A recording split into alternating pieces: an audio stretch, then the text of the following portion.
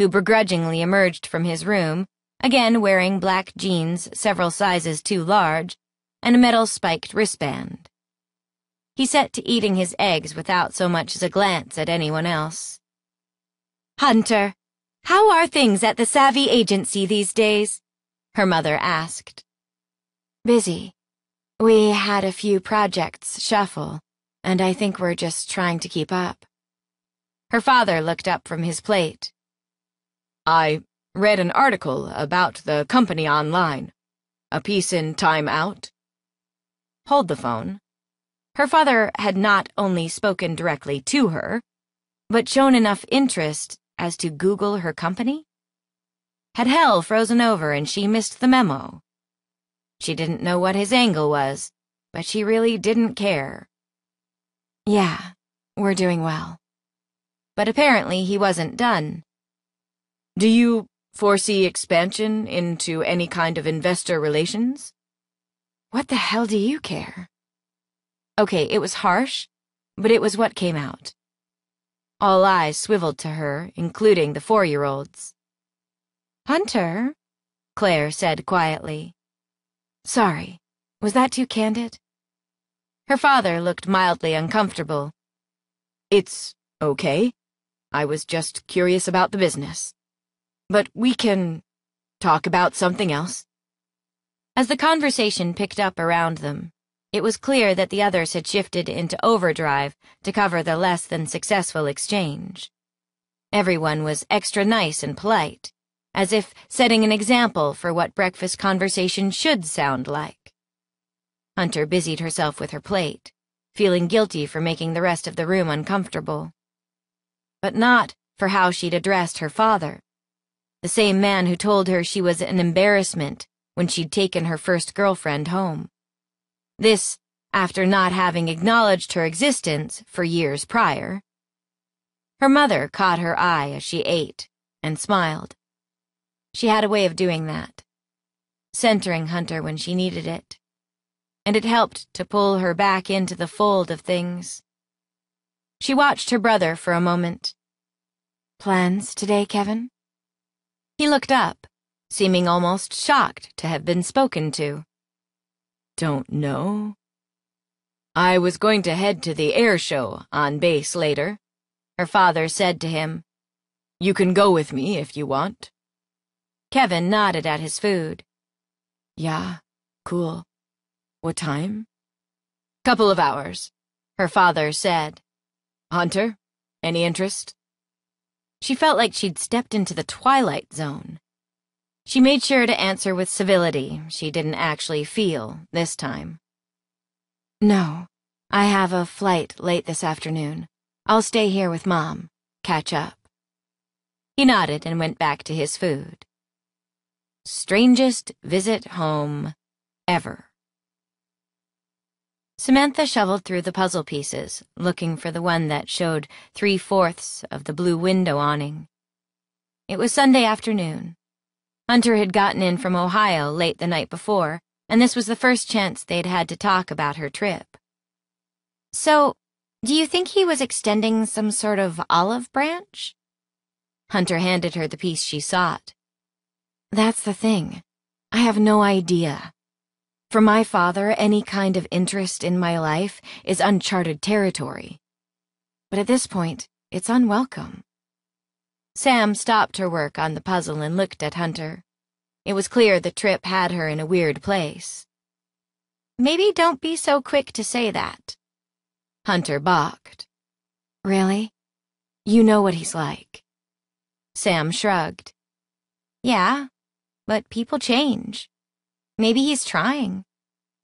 Hunter moved to the couch, clearly in contemplative mode.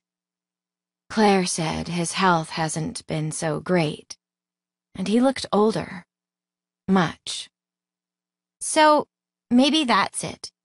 Maybe whatever is going on with him physically has him rethinking the way he's treated his kids all these years. I'm not saying that you should race into his proverbial open arms, but think about keeping your mind open for down the road. Hunter met her eyes. Not sure I can do that. But enough about him. She dropped her palms onto her knees with a slap. What have I missed? How have you been? What have you worn?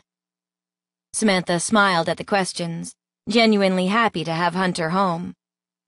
She'd been surprised at just how much she'd missed her while she'd been gone. The apartment felt lonely. But not just for anyone. She abandoned the puzzle and came to sit on the arm of the couch. Well, Elvis and I entered into a bit of a crossword puzzle competition. He was woefully second place.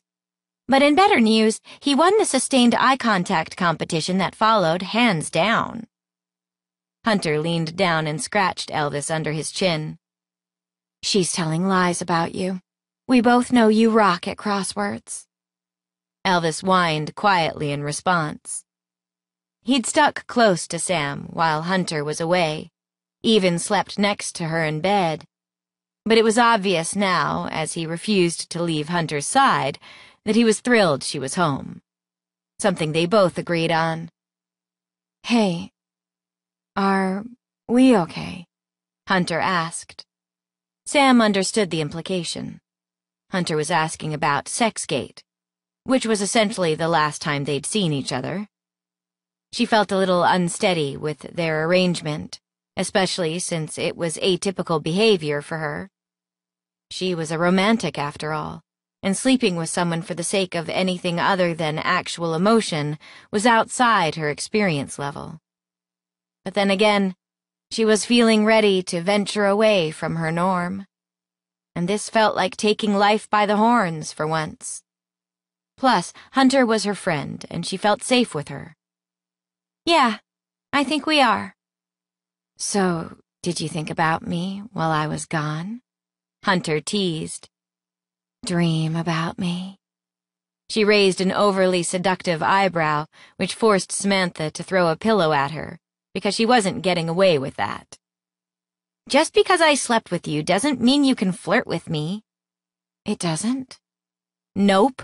Against the friends with benefits rule. We're friends right now. This is the friend part of our relationship. Well, that seems wildly unfun. Sam pushed off the couch and went back to the puzzle. Deal with it. And get back over here and help with this puzzle. My cafe is gaining on your building. You gotta keep up, slacker. Hunter stood. You are really, really bossy. And you love it. Chapter 10 So, Howard, what brought you to New York? Sam sipped the champagne that Howard had insisted they order, enjoying the way the bubbles tickled her throat on the way down. Her spirits were high. It felt good being out on an actual date. Women, Howard said. She choked a little on the champagne at his response. I'm sorry. Did you say women? Oh, yes, he said in his cute little Howard voice, almost like a well-mannered cartoon character, sitting there with that red bow tie, the same one from his profile photo, and tan jacket. She wasn't judging him. It was a definite choice, that outfit, and he was owning it. I heard that the women in the Big Apple are the prettiest women just about anywhere. So I moved my software company from Iowa to find out for myself. He certainly had a slow delivery style. He certainly had a slow delivery style, as if each word carried special meaning for him. Oh, and how has that worked out? Well, have you looked in the mirror lately? He pulled his face back and shook his head. My, you're stunning, Samantha. I'm so glad you opened up your heart to the world of online dating. There's so much for people like us to explore. Thank you. Um, it's a little new for me. I will admit to being nervous. I've never been on a blind date, much less an online one. But do you want to explore? The waiter chose just that moment to deliver their meals, which brought her a moment to ponder how one should answer such a strange and vague question. Explore? Our love connection. Oh, I think it might be a little premature for the word love. Don't you, Howard? Maybe we could just have this meal together and get to know one another a little. Well, that sounds just dandy. Everything you say is dandy. Wow, genuine enthusiasm. It was sweet. Not exactly sexy. At all. In any way, shape, or form. But he was an earnest little guy, and that counted for something, right? She had him pegged at about five three with a slight comb over. That part had not been well represented in his online photo. Do you enjoy NASCAR? He asked, taking the tiniest bite of steak ever assembled.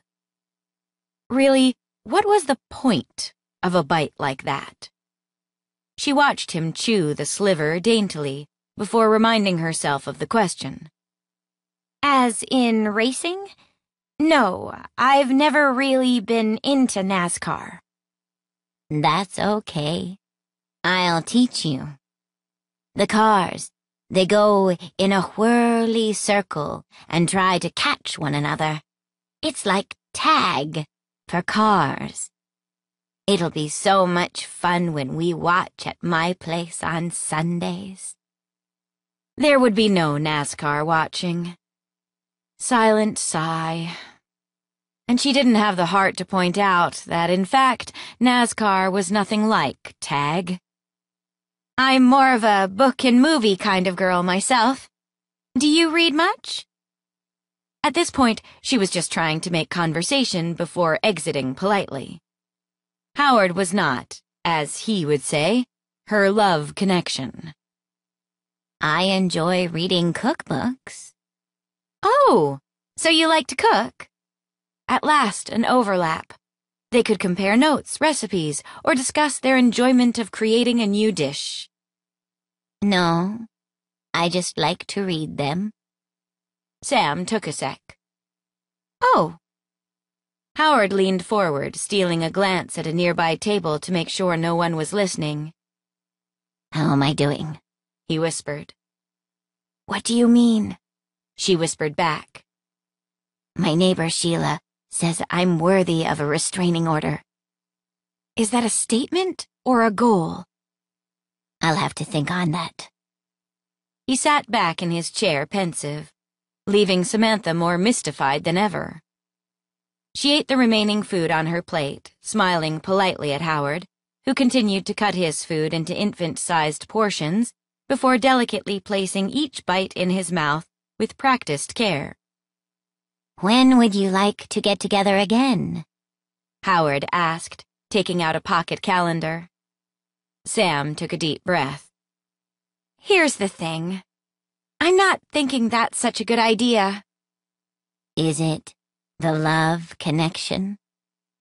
She made a point to look sorrowful. It is, I'm afraid.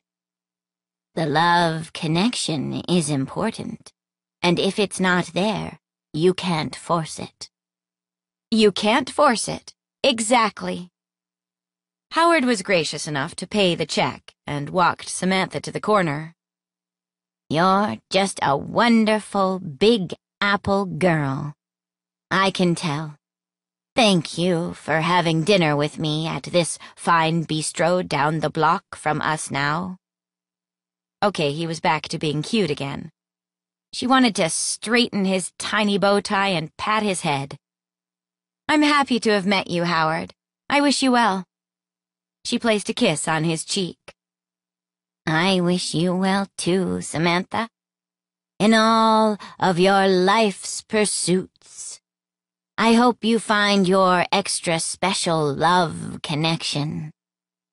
He placed something in her hand and walked away. She glanced down and found herself staring in mystification at a $100 bill. Howard? Wait, no! But he closed the door to an idling cab and was gone. She looked down at the cash. Seriously? How'd your hot date go? Hunter asked from the couch when Samantha arrived home. She was tucked under a blanket with Elvis curled into the crook of her knee.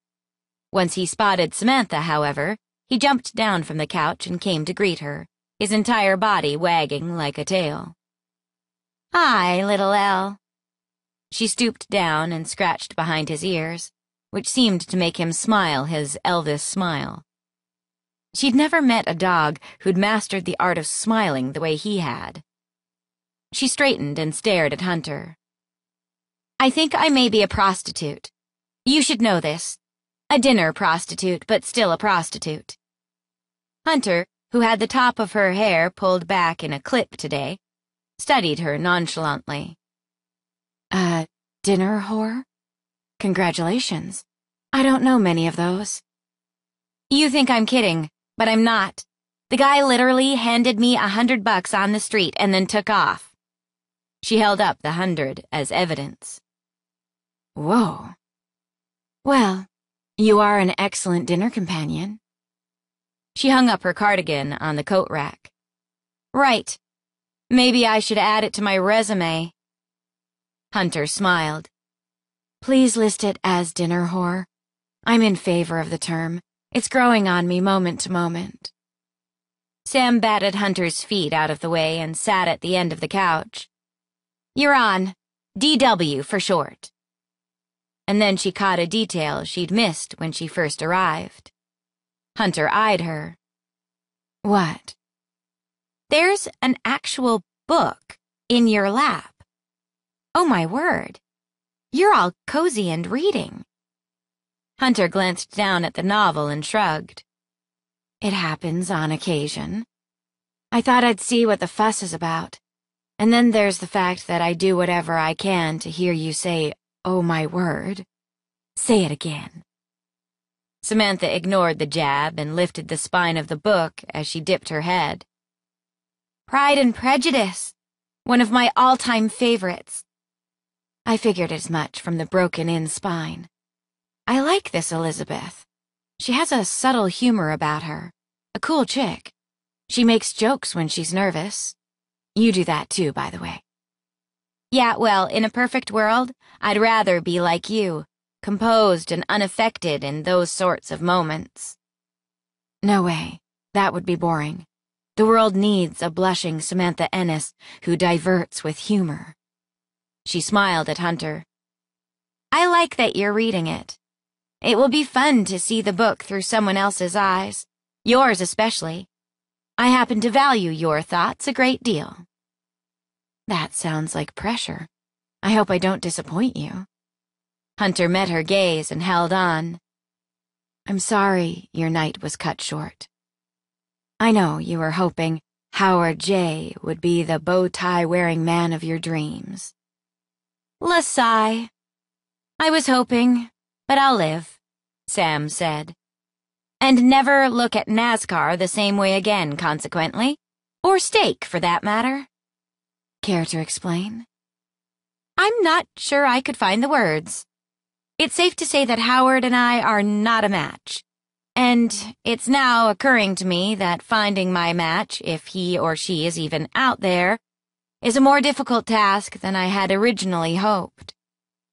Is it horrible that after everything, I still want that for myself? Someday down the road, I want the romance novel. Hunter studied her, the playful smile of earlier replaced with a sincere understanding. And you deserve it. Samantha adjusted her spot on the couch and brought her knees up to her chest. Several years back, I made this list of everything I wanted in the perfect person for me. Kind, funny, successful, good-looking, wants to have kids, gets my quirks, a killer chef, well-read. I mean, the list went on and on. She covered her face with her hand as embarrassment struck. I can't believe I just told you that. Miss Anti-Relationship, you must think I'm so naive and pathetic. I don't think that. I'm happy you told me about your list. There's nothing wrong with having one. Samantha dropped her gaze to the floor and examined the swirling patterns where the rug met the cement. I think I'd settle for kind at this point. Funny couldn't hurt. But the full package is unrealistic. That list needs shortening, and I think it's time I acknowledge that. Hunter stared at her, and it was one of those rare moments where Sam didn't know what she was thinking. It was a faraway look that Hunter only got once in a while. Hunter, you in there? Hunter took a breath and smiled. Yeah, sorry. Right here. She placed her hand on top of Hunter's and squeezed. Thanks. You've been a great friend to me through all of this. Libby, Howard, us. She left it there, knowing that Hunter would fill in the gap. As saying, the night I ripped your clothes off felt somehow outside the mood. Hunter straightened. You're one of the most important people on the planet to me. You know that. The words prompted a warmth to move through Samantha and brought a smile to her face. I do, but it's nice to hear it. I can safely say the same right back to you. There was a silence between them now as the comments hovered and settled, but not the uncomfortable kind. That was the thing. As different as they were, things were always easy between them. Samantha cherished that. Finally, Hunter closed her book and turned to Sam.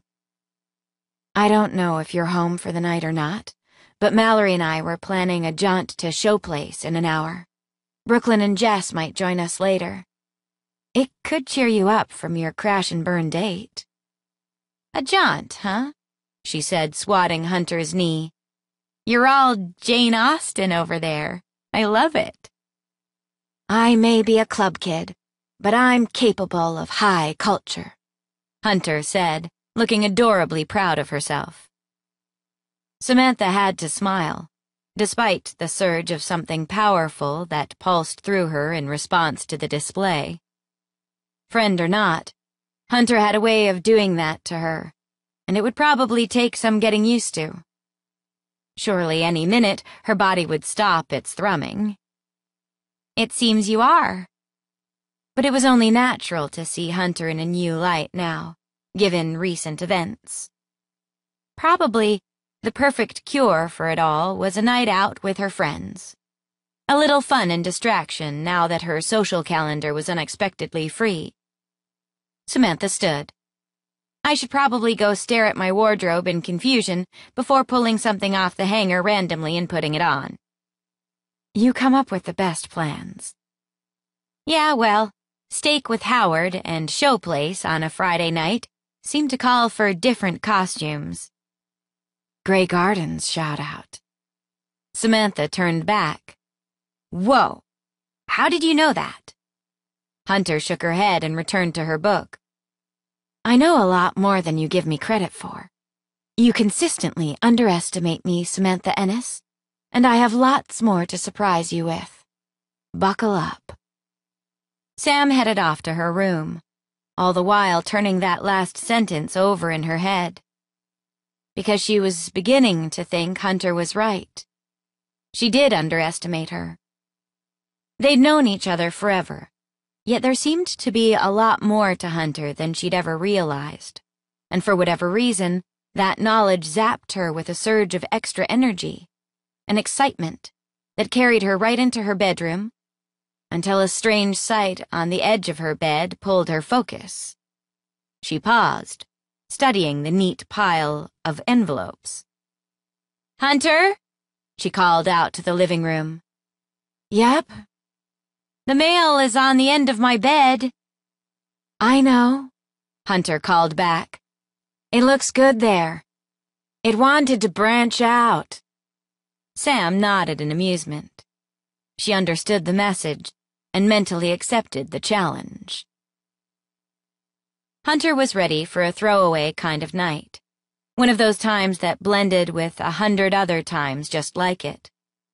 And the fact that Showplace was wall-to-wall people when she and Sam arrived was awesome for her plan. The more the merrier had always been Hunter's go-to philosophy. Well, that, and a no regrets kind of mantra. She'd stayed away from the party scene long enough, but her head was a mess, and she needed to remedy that. Showplace was located just down the block from the loft. The casual bar turned nightclub on the weekends had easily developed over time into the foursome's favorite hangout. Monday through Thursday, it was the perfect place to gather and kick back over drinks and some good conversation. But once Friday night hit, a DJ set up shop and the space transformed. Hunter loved the dichotomy. While the place was out of the way enough that tourists weren't an issue, word of the bar's killer vibe had trickled out, and the crowds were slowly picking up. While not exactly a gay bar by definition, it was safe to say that Showplace fell more and more that direction as time went on. The high ceilings of the converted warehouse gave the room a spacious feel, even though the place wasn't that large. The minimalistic decor, coupled with the purple and blue light bulbs that hung from the rafters, provided an industrial vibe, reminiscent of the neighborhood, that Hunter found rather chill. The front portion of the room was comprised of a dozen or so tall bistro tables with leather-backed chairs, all surrounding a central metallic bar. She and Sam located Mallory easily enough at their standard table to the left of the bar, set back from the dance floor. Mallory sipped a martini, which she raised to them as they sat. I got started early. That kind of week. Samantha grimaced. You really have been pulling the crazy hours. Serenity? Mallory nodded. Those women are high maintenance, and they have a lot of opinions. About water? Sam asked. Mallory's eyes widened. How did you know? Been there. What else? Twelve potential new client meetings since Wednesday, and I took Brooklyn with me on five. She really knows how to pull them in with her description of her ideas. She just lights up. She's great at making her excitement contagious. Hunter added. It's the Brooklyn factor, hard to resist. She pointed at Samantha. Cucumber martini? Sam nodded and smiled. Yes, please.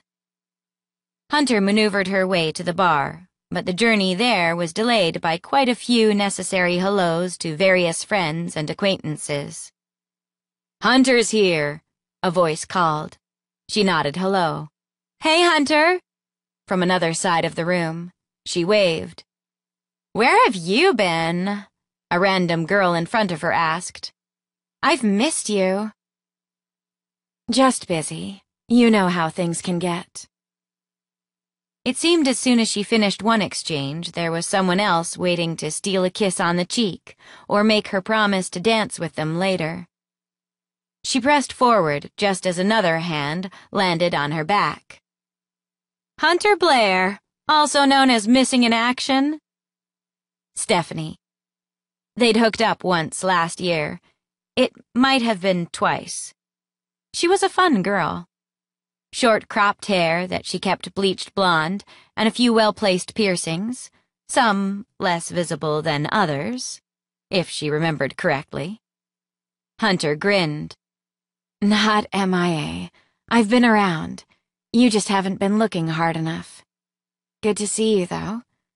I dig the jacket. It was something to say. She tended to compliment women whenever she could, an automatic pilot thing. She enjoyed making other people feel good.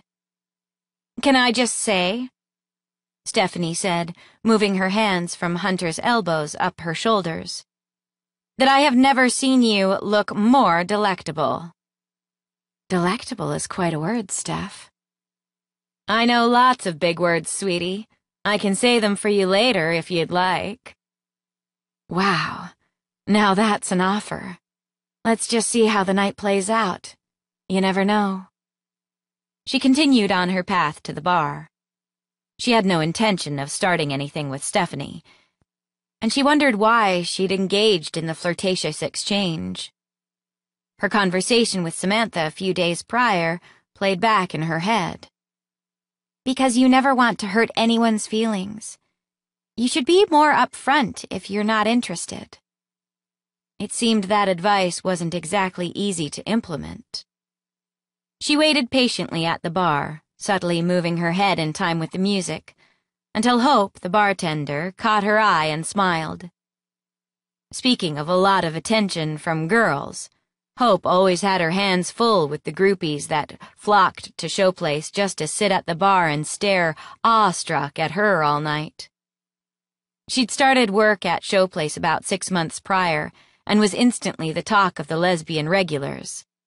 With medium-length blonde hair, generally pulled back when she was working, soft brown eyes, and an easy smile, Hope garnered lots of attention.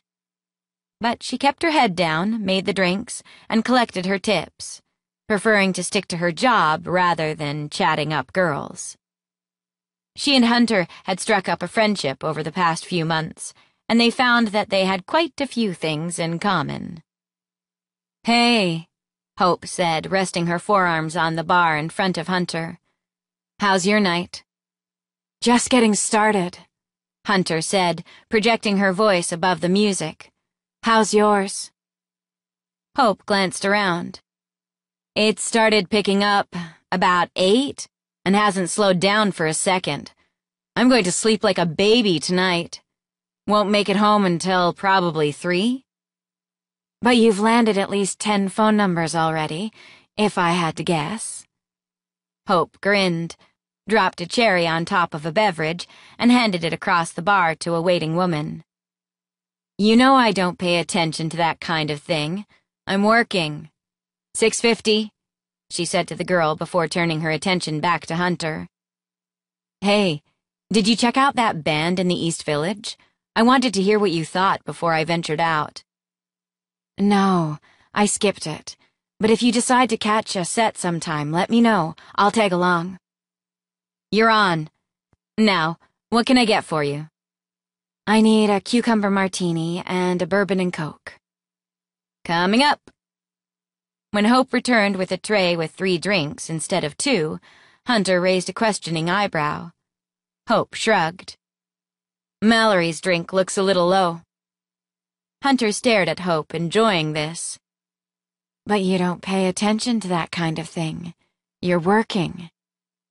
Spotting a customer in need of a drink is part of that job. She winked at Hunter. And I'm excellent at my job. It wasn't the first time that Hope had sent Mallory a drink, and it probably wouldn't be the last. Well, thanks. She slid Hope some cash for hers and Sam's cocktails and made her way back to the table. A refresher for you, she said to Mallory, placing the drink in front of her. On the house. You're officially a stud, by the way. Mad props. Oh no. This is from the bartender, isn't it? Mallory eyed the drink critically. I don't know how I feel about stud status. Hunter stared at her. Don't overthink it. Hard for you, I know, but you'll manage. Enjoy your drink and wave to hope. It's what you do. She shifted her focus. And a cucumber martini for Sam. She placed the glass in front of Samantha. Thank you. Samantha smiled widely in appreciation, and Hunter couldn't seem to look away. She radiated tonight. She'd complained about her inability to put an outfit together, but there was something so simplistic about her look. A casual, solid green sundress with a silver necklace that brought out her eyes and easily made her the most attractive woman in the room. Her hair was down, and she must not have blow-dried it that day, as it fell in subtle waves that clung just past her shoulders, shiny and soft, like some kind of shampoo commercial. Hunter remembered the way it had cascaded softly through her fingers when they'd kissed in the entryway of Samantha's room. how sweet it had smelled when she buried her face in it in Sam's bed. A tingle moved through her at the very vivid sensation. Hunter! she heard Brooklyn say, and then there was hands on her shoulders from behind. Hey, you in there? Yeah, totally, sorry. She turned and focused her attention on the newly arrived Brooklyn, breaking into a smile at the addition to their table. You guys made it. She'd seen Brooklyn earlier that day, but she pulled Jessica in for a quick hug. Thanks for the invite, Jessica said as Hunter released her. We had dinner at home first, but it's nice to get out. There might have also been a quickie, she heard Brooklyn whisper to Samantha as she assumed the seat next to her.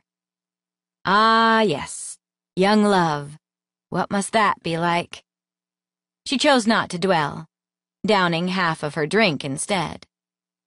She had a lot of feelings swirling, and because she didn't quite know what the hell they were or meant, she opted instead for a bit of unbridled distraction. I need to dance, she said to everyone and to no one. Without waiting for a response, she made her way to the dance floor and let the music take her far from life's complications.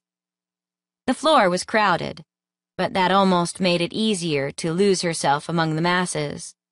The beat was fast, and she lifted her hands and tossed back her head. The prickle from the alcohol snuck into her system, loosening her limbs and dulling her senses just enough. A girl turned into her, and they danced together. She slid one of her arms around the girl's waist. She'd seen her before. They'd chatted over drinks some time back.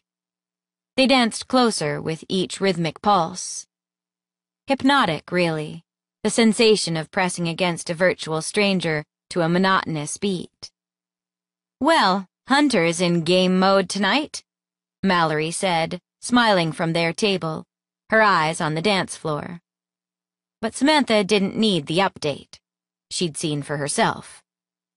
As Brooklyn recounted her most recent run-in with a traffic cop, Samantha perfected the art of divided attention.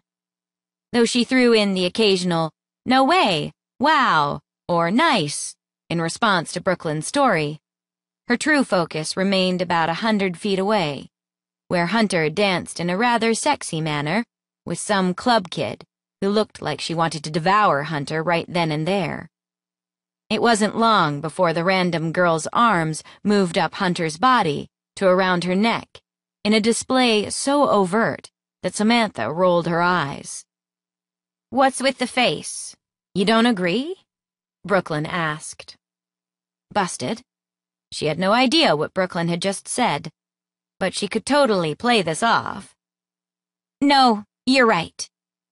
Brooklyn seemed satisfied. I just think that as long as I'm not putting anyone in danger, what does it matter if I push the bounds of a yellow light? Brooklyn continued her story.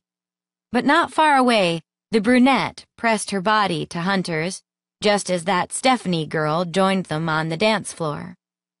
She watched as Hunter turned to Stephanie, and the two moved like they were born to dance with one another. Hunter tossed her hair. Stephanie smiled, entranced by the visual, and matched her step for step. For whatever reason, it angered Samantha. All of it. And the fact that she was angry just made her that much more angry, in some sort of exponential anger scenario that royally sucked. Because what did she have to be angry about, really? Those women were not good enough for Hunter, true. But if Hunter enjoyed that kind of thing, who was she to care? Just because she'd been with Hunter once did not give her the right to dictate who she danced with. And she was so not jealous right now, anyway. Because what the hell? She was not that girl. She just wasn't. The music was pounding way too loud. There were too many people and if that Stephanie chick danced any closer to Hunter, they'd be the same person. Sam, did you hear me? Brooklyn asked. She turned to Brooklyn, the words flying out of her mouth before she had time to censor them. You want to know what I heard? You're a menace behind the wheel of a car. You always have been. But you know what? I think you kind of like it. And that's what I heard. While Brooklyn's mouth formed a tiny O, Mallory studied Sam with concerned interest. Always the voice of reason. Sam, everything all right with you tonight? Me? Fine. Never been better. Why do you ask? She had no idea why she was yelling, but she had no ability not to. Brooklyn raised her hand as if called on in class. Because your eyes are flashing scary?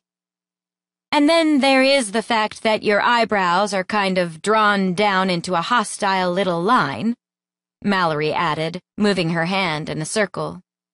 Samantha balked. I do not have hostile eyebrows. They're a tad hostile, Jessica said calmly, not to interrupt the banter. Hey, you guys, a random girl said, leaning on their table.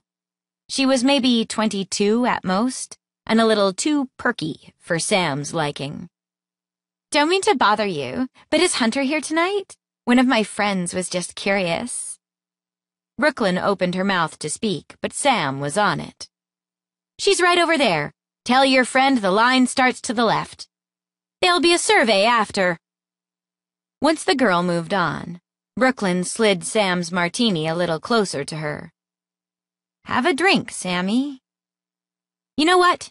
Best idea of the night. She picked up the martini and downed the sucker. But she knew where there were more and headed off on a mission to locate one.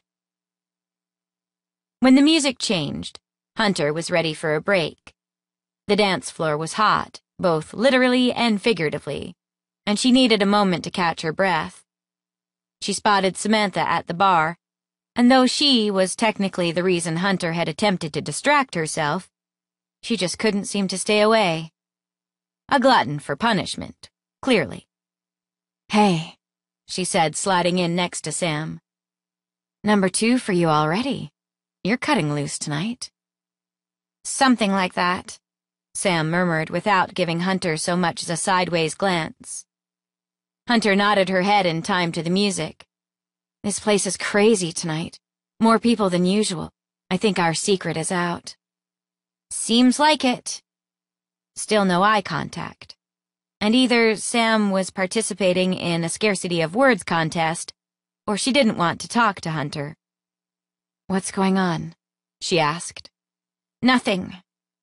Another short answer. Okay. So did this mean they were in some sort of argument she hadn't been informed of? Hey, why aren't you looking at me? Samantha turned fully then, and Hunter had the answer to her question, as Sam looked anything but friendly. Better? she asked coolly, as her eyes settled on Hunter's.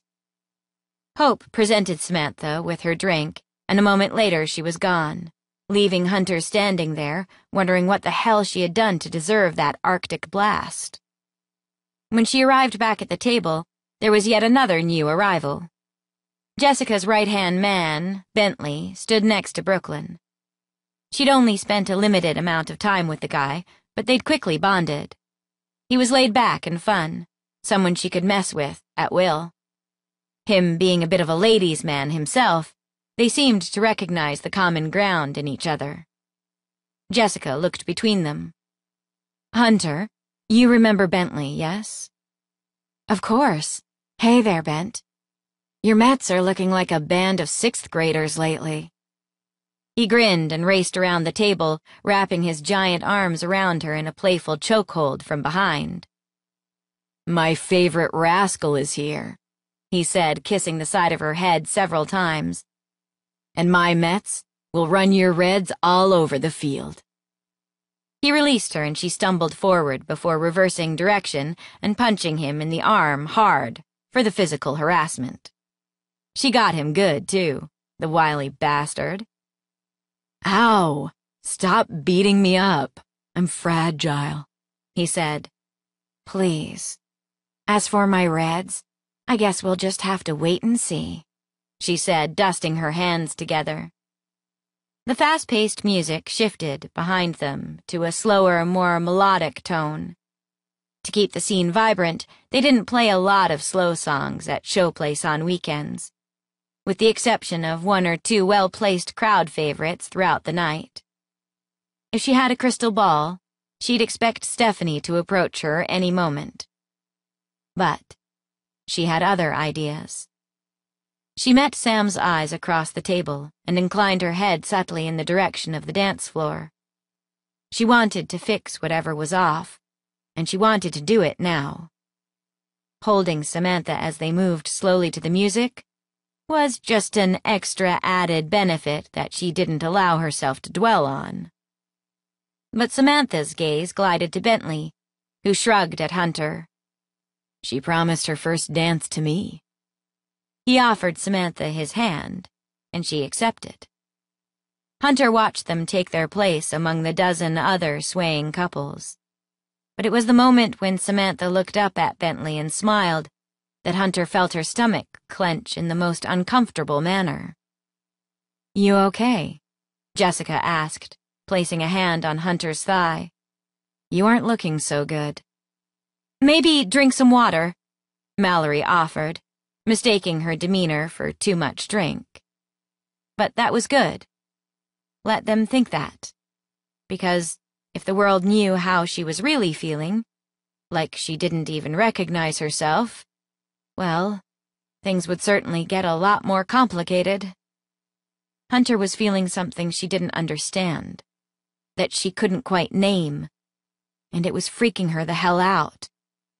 She'd been lusting after Samantha for weeks. But was this more than just lust? And, as if in reflex, she panicked because that's not how she operated. I have to go, she announced to the table. Brooklyn and Jessica exchanged glances. I'll walk halfway with you, Brooklyn said, pushing back from the table.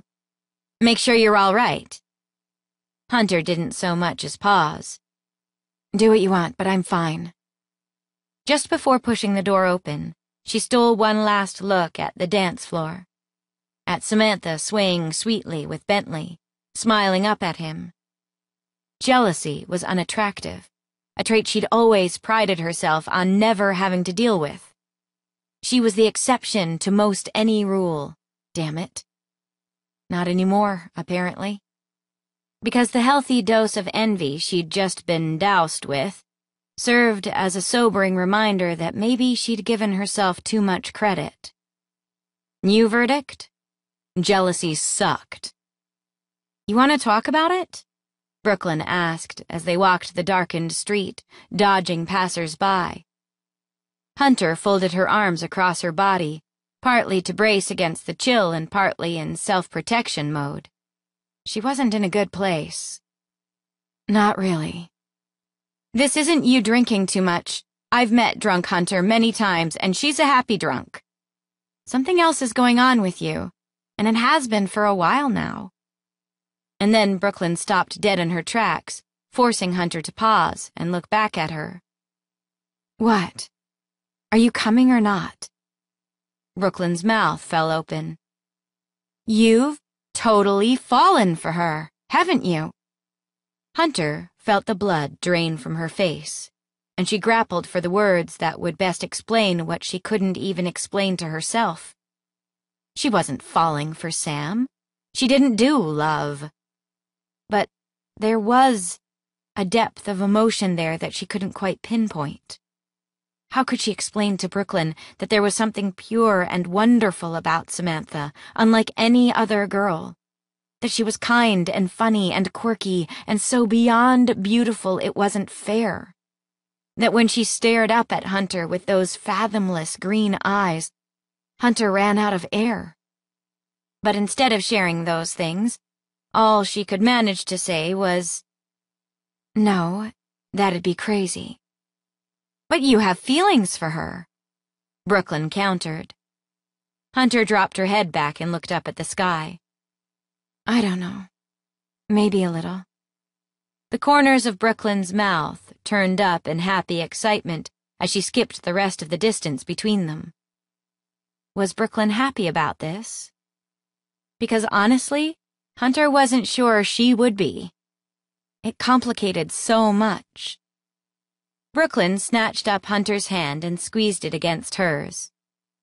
So, are you guys going to live together and get married and have little yoga babies?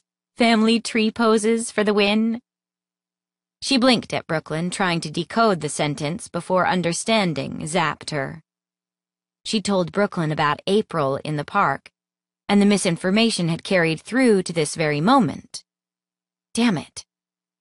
As she stood there on the corner of Spring and Broadway, she recognized that the crossroads in front of her literally mirrored the decision she faced about what to tell Brooklyn. But why ruin the chemistry of the group for something that wasn't going to go anywhere anyway? That couldn't go anywhere. She and Sam were hookup buddies, that was it. The people Samantha dated were nothing like Hunter. So what would be the point in confessing her feelings to Brooklyn?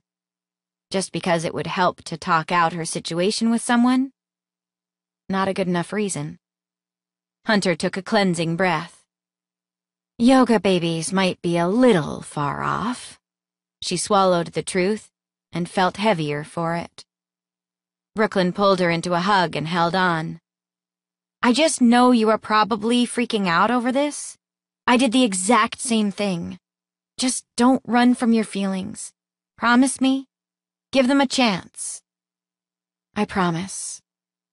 Hunter returned the hug, knowing that was an agreement she wouldn't be able to keep. Sam was feeling a little bit tipsy when she and Mallory walked home from Showplace that night. The sky was clear, and there was a night chill that had Samantha wishing she'd brought a sweater. It was just after midnight, and despite her best efforts to turn the evening around, the images of Hunter dancing with that Stephanie girl hung on like the plague, making everything that followed taste bitter and unhappy. Mallory nudged Sam's shoulder with her own as they walked. Something's going on in that analytical brain of yours. She fired a glance at Mallory as they split the sidewalk to leave room for a gaggle of teenagers to pass. What makes you say that?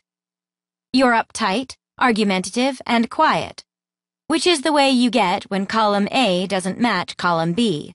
I'm expecting you to go home and put on your glasses and serious ponytail while you work out the life details. The serious ponytail definitely helps me focus. It might be coming out later. The glasses are just for, you know, vision. Mallory chuckled quietly. Okay, so what gives? Is it Bentley? You two looked really good together out there. I counted three dances. Are you interested? Not really. Samantha offered a small smile at the memory. He gave me his number, though. He wants a proper date. And I have to admit, it was nice to be noticed that way. You know, really noticed? Why do you say it like that? You're a very noticeable girl, Samantha. You don't give yourself enough credit.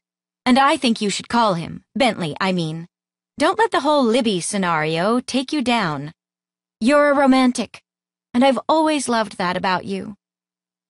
Thanks. Sam nodded, considering Mallory's words.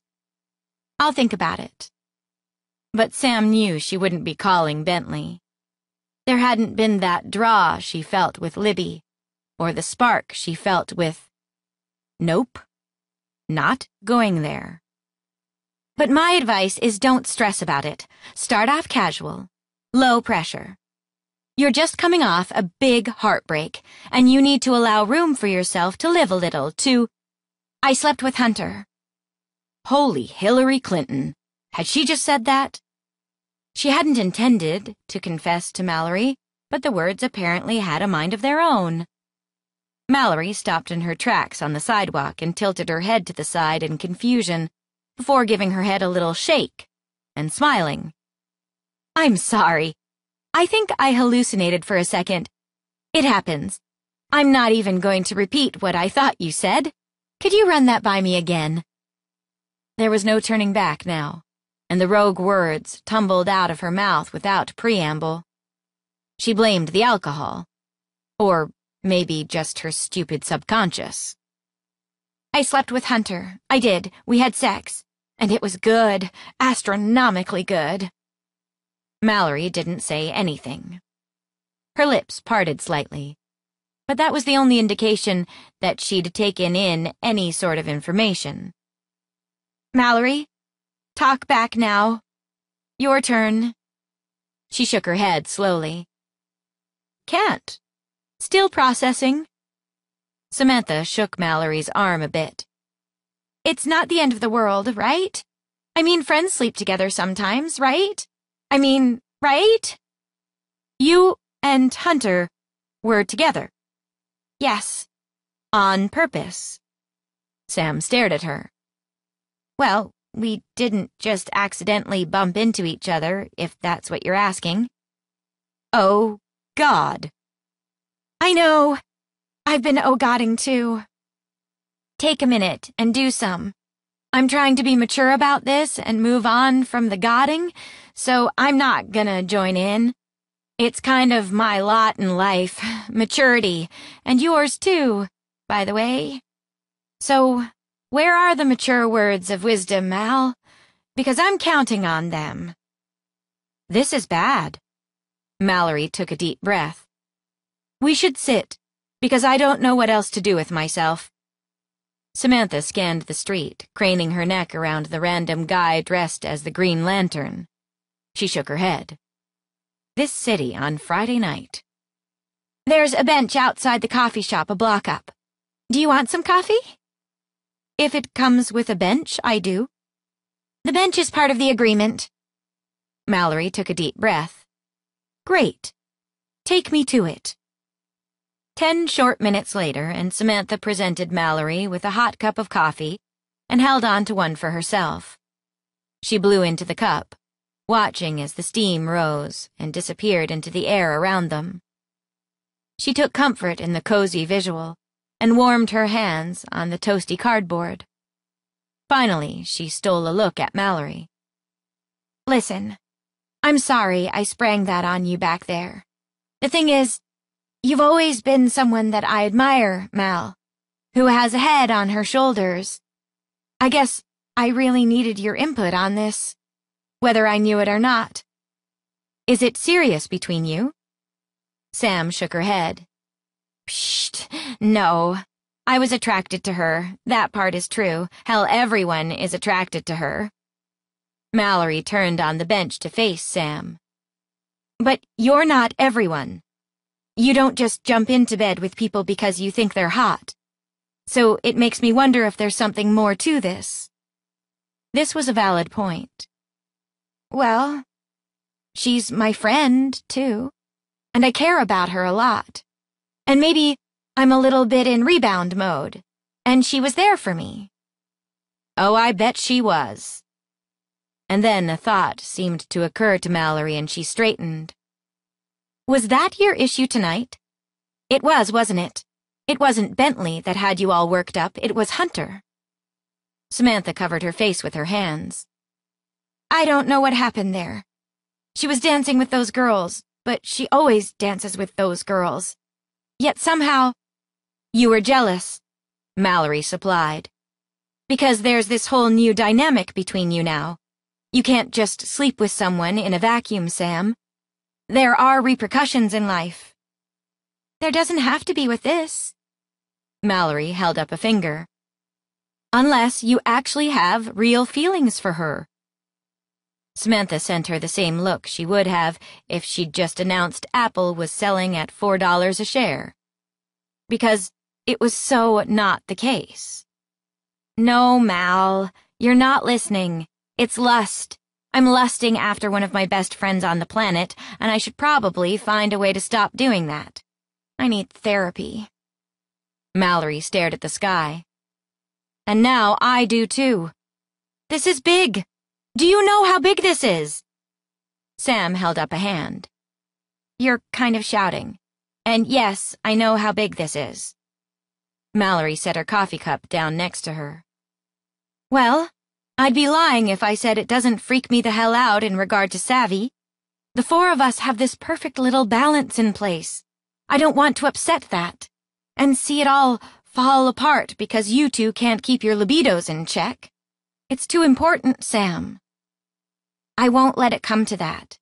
It will not upset the balance. I'll make sure of it. You have to make sure this never happens again. It's too important. Samantha took in the words. Mallory was right. It wasn't fair to just consider her and Hunter's take on the situation. Savvy had to come first. It won't happen again. Good. The two of you are going to be alone in the office a lot this week. You're going to be able to handle this? Of course. Who do you think I am? I'm not sure I know right now. When Sam arrived home that night, Hunter was once again on the couch reading her book.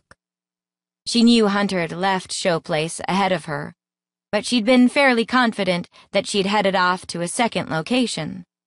She'd been in party mode, and that usually, in Sam's experience, meant late nights. What are you doing here? Hunter looked up from her spot on the couch. She was wearing black cotton short shorts and a red tank top. The fact that there was so much skin on display just served to annoy Samantha that much further. Because seriously, she was over all the Hunter thoughts and anything that prompted them. Done. Hunter shrugged and returned her attention to the book. I live here? The apartment was chilly, both literally and figuratively.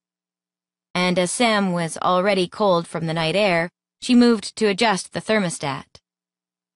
I just figured you'd be out with one of your many groupies. You know, bumping and grinding until the wee hours of the morning at some new club. As you can see, you were wrong. Hunter glanced up this time, but it was barely a flick. For whatever reason, the lack of engagement was beyond frustrating and only propelled Samantha further. You know, we probably need a system for when you bring one of them back here. Some way that I know to stay clear of your room. Because Jesus, can you imagine? A scarf on your door would work. It's ridiculously cliched, but probably necessary now that we live together. Yeah, I'm not into systems. Samantha shrugged in a patronizing manner as she faced Hunter, her annoyance at the situation flaring. What's it like to just pick one out at the end of the night? Is there any sort of criteria or just eeny, meeny, miny, mo when the clubs close. Her tone wasn't the nicest. In fact, she did nothing to hide her judgment. Her anger had spread out and sprouted wings, and there was apparently no holding it back. Are you kidding me with this? Hunter stared at her, eyes blazing. Oh, she had her attention now. I've lived here for over a month. Have I once brought a girl home with me? I don't monitor your every movement. Are you sure about that? She glanced at the thermostat on the wall. And did you just make it warmer in here? I'm tired of being hot at night. Can you turn it back? My bad, Samantha said, returning to the thermostat. I forgot how hot you were, and how important it is that you're treated as such. I mean, right? That's what's important to you. Hunter closed the book and leaned forward. What is your deal right now? Something you want to discuss, Sam? Or are you just trying a new personality? Quite frankly, I'm not a fan. No, I'm good. She headed for her bedroom as if it were the most casual thing in the world. Outside, a siren blared past the building, and inside felt just as chaotic. Everything in Sam's world was off, askew. She hated it. Yeah, you looked like it by the end of the night. Glad it's all working out for you. She turned back. Meaning? Hunter lifted a shoulder. You looked pretty content with Bentley is all. Maybe he does it for you more than any of the women I danced with ever could. Sam took a minute with the comment, and to be sure she understood its implication. The end result stung. Yes, I did enjoy dancing with Bentley. And that's all it was. A dance. But the fact that you just made some sort of veiled dig at my sexuality is not only juvenile, but offensive as hell. Hunter closed her eyes in disappointment at herself. Samantha was right. What she'd just said was horrible. It was one of those fights that took over until it felt like the fight was having you. Sam, wait. No. Sam shook her head. Please don't assume you know anything about what it's like to be me. To feel slighted on a daily basis by either the straight or gay community, depending on the day. So no, I'm not going to wait. I'm ready for tonight to be over. Enjoy your book. Hunter sat there on the couch, stunned, as the door slammed shut. She had no idea what had just happened, how their interaction had spiraled so far out of control. The comment she'd made was totally out of bounds, and the recriminations were already swirling to the point that she felt sick to her stomach. She'd acted out, attempting to strike back at someone she cared about because she was jealous. When in fact, it wasn't even representative of how she felt about Samantha's sexuality at all. It was the low-hanging fruit, and she was embarrassed that she'd gone there. The night's events, and her own realizations had her already in a bad place, and Samantha's antagonistic comments had just piled on to the point that she was feeling aggressive and a little out of control. And did Samantha really think she slept around? She was a flirt, that much was true. Who wasn't opposed to after-hours activity here and there, when it seemed appropriate? She was still in her twenties, and wanted to enjoy them but she had standards. She reached for Elvis and stroked his head, but the rest of her felt numb. She hated the way she looked through Samantha's eyes. Wild, careless, unworthy, and it resonated. Chapter 11 Thank you so much for agreeing to have lunch with me, Tanya said, sipping from her water glass. It was Tuesday afternoon, and though Sam had come up with every excuse to not have lunch with this woman, her hand was forced when Tanya finally copied Mallory on the request for a budget consultation. Shrewd. Very shrewd. Tanya had selected a rather upscale restaurant on the Upper West Side, the kind of place with white tablecloths, multiple forks, and women eating from large bowls of lettuce alongside Chardonnay. No problem, Sam said. You mentioned the budget, so I've brought with me some of the details we initially decided upon. She reached for her leather-bound portfolio until Tanya placed her hand on her wrist, stopping her progress. Can we get to that later, perhaps? Oh, sure. You'd rather eat first? If that's okay. I thought we could talk a little. Right on cue, the rather pretentious-looking waiter stopped by to take their order. While Samantha was dying for a cheeseburger, she followed Tanya's lead and ordered the spinach salad, dressing on the side. Yay! So, how have you been? Tanya asked, eyes wide, enthusiasm oozing from every perfect pore. I've been fine, how about you? Not so great, actually, she said, her voice cracking.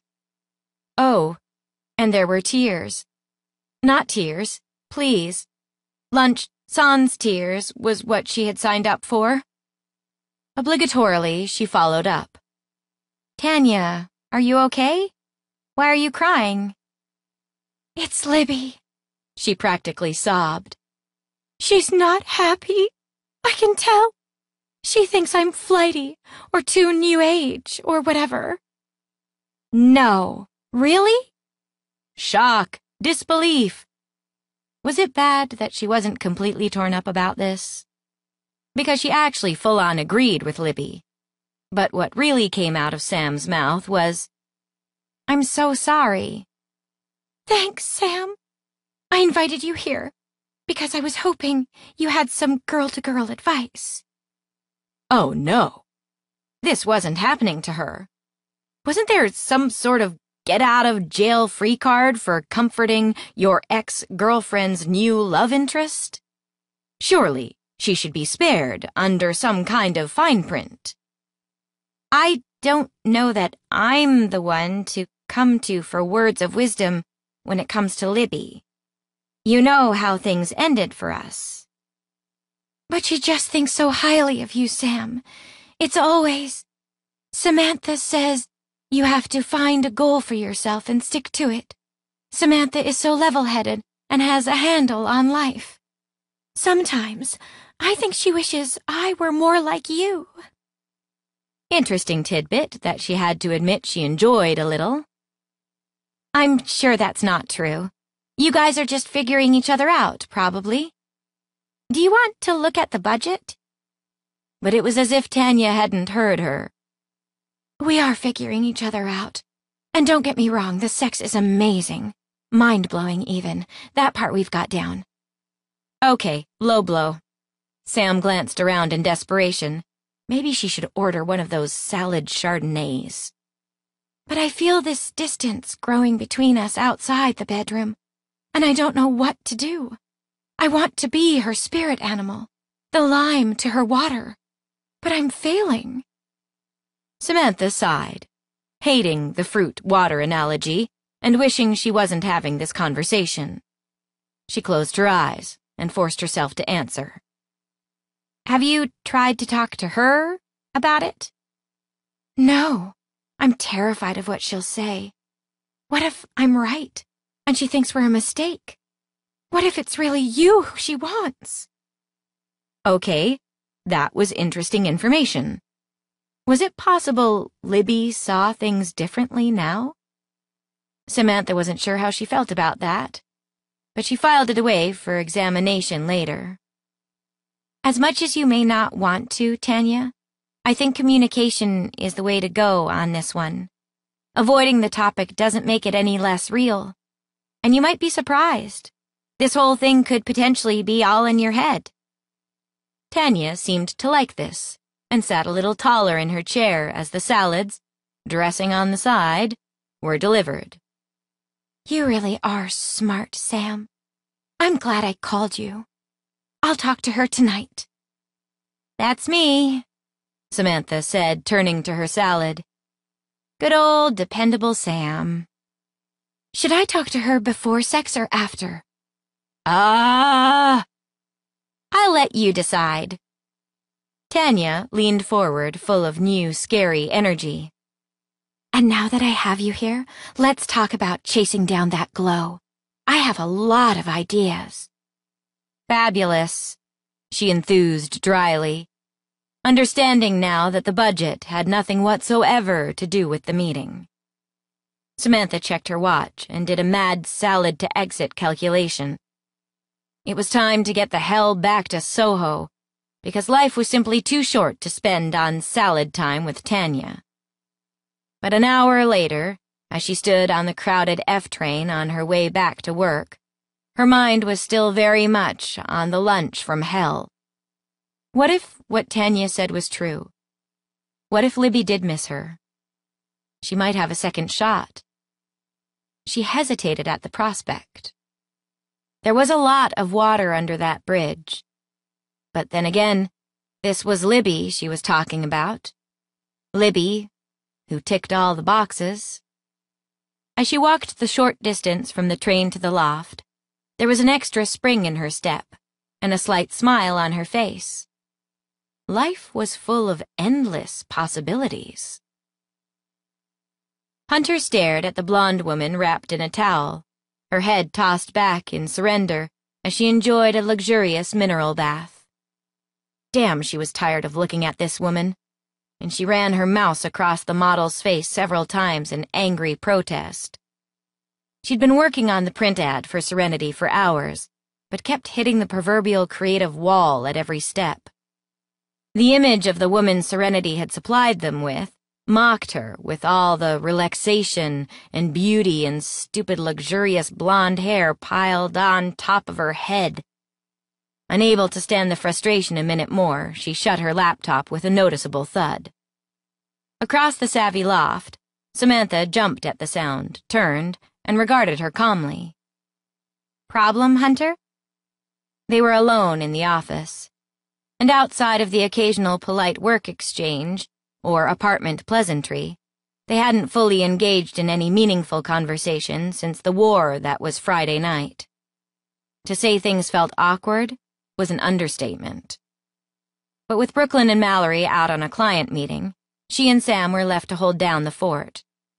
It wasn't all that unusual, as both of their jobs were mainly office-based, though they were on their own more often now with the loss of the foster account.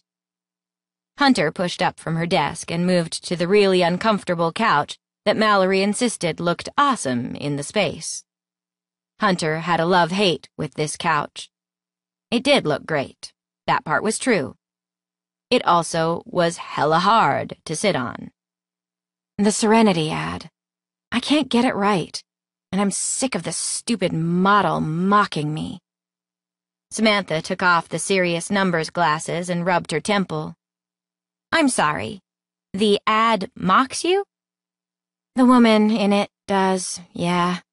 She knows I'm struggling to get the opacity on the top layer perfect, and when I can't, she just looks all peaceful to contrast how angry I feel. It's her game.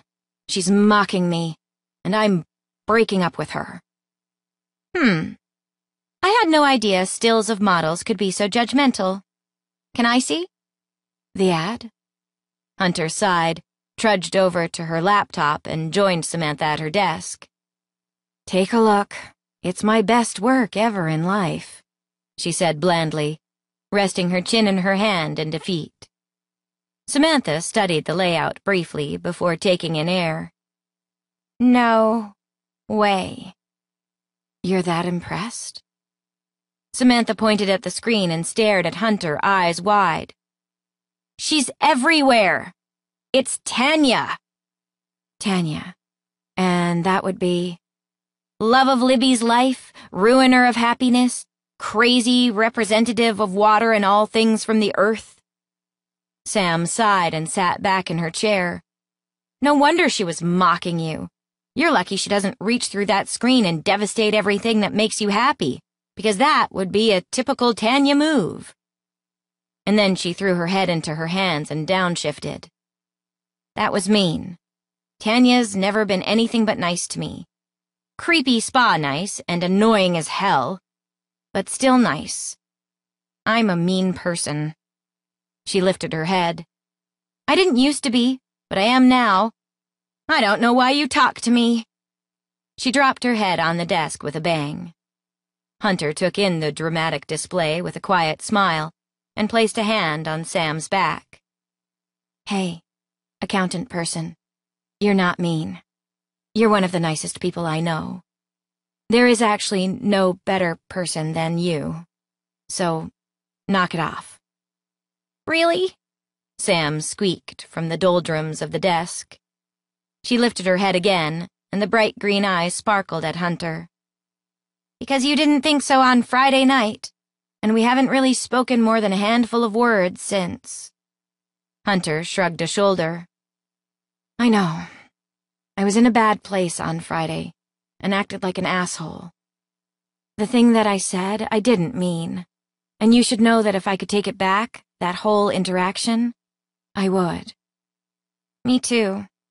That was a horrible fight, and I take a lot of responsibility. Hunter appreciated that.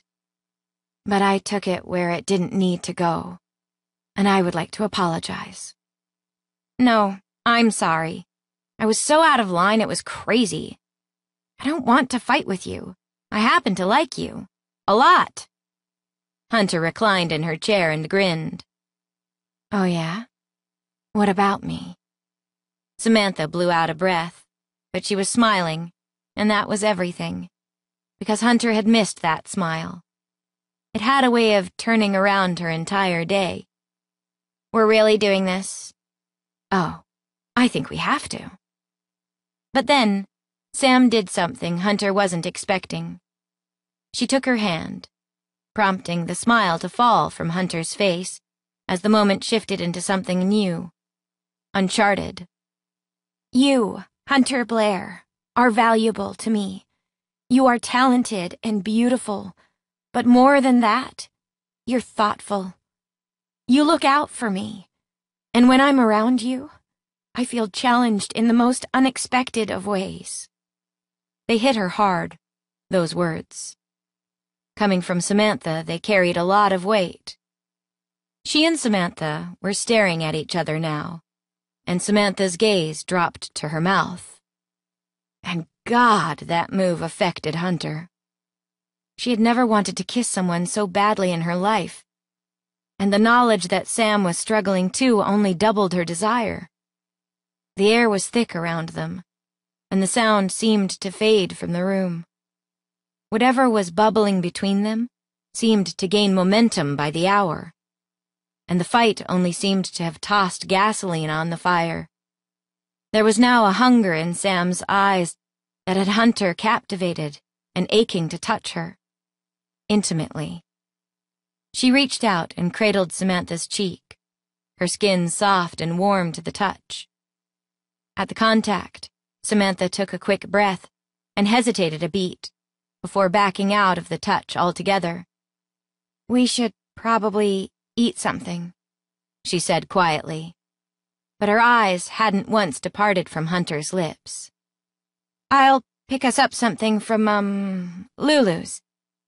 She blinked purposefully, grabbed some cash from her purse, and was gone, just like that.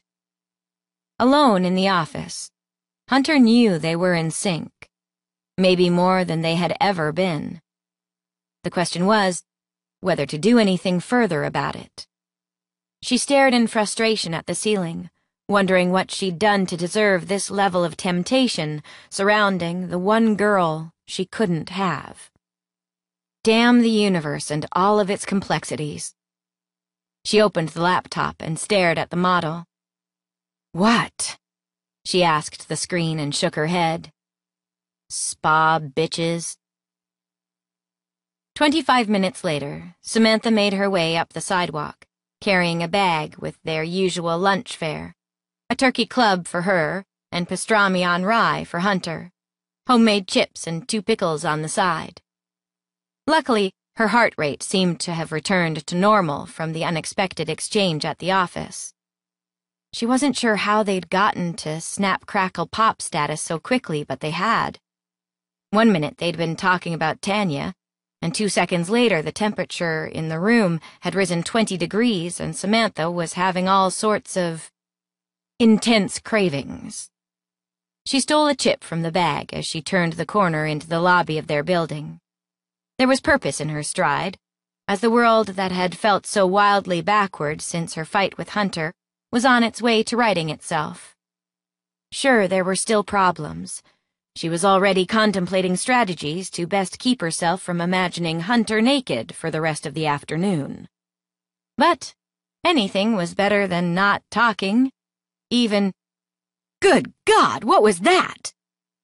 Something small and furry interrupted her train of thought and darted across the lobby, prompting Samantha to freeze and crush the bag of food against her chest in defense. Moving like an NFL ball carrier in overtime, she hightailed it back to the street to spare her life and assess the situation. Tiny rodent monster in the lobby. Tiny rodent monster in the lobby. It was the only sentence that would come. She didn't do rodents. Ever. In fact, they were high on the list of greatest fears. And this one had a long tail, which made her cringe all over at just the idea. After several cleansing breaths, Sam gathered enough courage to peer into the small lobby through the glass for any sign of Sly, their doorman. Sly would know what to do about the tiny rodent monster. He knew what to do about everything. But damn it all, there was no sign of Sly anywhere. Probably on his lunch break, which didn't seem fair. Dorman didn't need lunch when there were battles to fight. She took another look through the glass to pinpoint the TRM's location. Gasp. But in even more frightening news, it was missing. It could be anywhere, she shouted to the street, prompting a glance or two from passing pedestrians. Okay, so, what am I supposed to do here? She studied the elevator. Probably ten steps away once she entered the building. but there was always the risk that the elevator wouldn't arrive right off and she'd be stuck with the tiny rodent monster in a small space. What if it got near her? What then? But she didn't have a lot of choice. There was lunch and work and life to attend to, and she couldn't let a little rodent monster crisis get in the way of that. She rolled her shoulders. She could be a badass against a little mouse. Hell, she rode the subway. She sagged in defeat at a new realization. This was New York City. Who was she kidding? TRM was likely a rat, and that meant she would die if there were contact. Not of disease, but of abject horror. And that was all people would talk about. Samantha Ennis died via rat horror. She shook herself out of the ever spiraling what if scenario. Any more thought on the topic would be detrimental to the goal. So, she cleared her mind, threw open the door, and scurried the ten paces to the elevator bay. Mashing the up button 18,000 times in succession didn't seem to produce the elevator nearly as fast as she'd hoped. This was bad. Come on, come on, come on! And right on cue, there was the theme music from Halloween, playing in her head. Excellent. Through it all, her eyes flew from one corner of the lobby to the other for any sort of furry movement. When she saw none, she shifted her focus briefly to the number readout above the bay and watched as the elevator descended from eight, seven, six, five. But then, out of the corner of her eye, was the slightest bit of rodent monster movement, and oh, Warren Buffett! It was against the wall and sniffing its way in her direction. Was it a mouse or a rat? She didn't know, but it had tiny little claws that made very faint clicking noises on the tile, a sound that would surely haunt her dreams for life. She tried to move, but her body was in charge and clearly on some sort of lunch break, probably with Sly. With every ounce of strength she had, she managed to run. It's possible she also screamed and tossed lunch in the air over her shoulder, she only knew that part in retrospect, ascertained from the safety of the sidewalk. Finally, in desperation and fear for her life, she pulled her phone out of her back pocket and called Hunter upstairs. She answered on the second ring. Did you get lost? Something horrible has happened. Hunter's voice switched quickly to concern. Okay, what's wrong? Where are you? Outside the building. There's a giant rat, a rodent monster, in the lobby. I'm not making this up. It won't let me get to the elevator. It hates me. I hate it back.